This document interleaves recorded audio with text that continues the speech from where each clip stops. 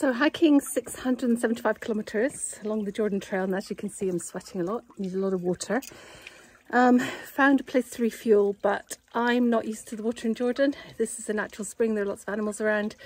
So I'm using my new bottle, CrazyCap from water.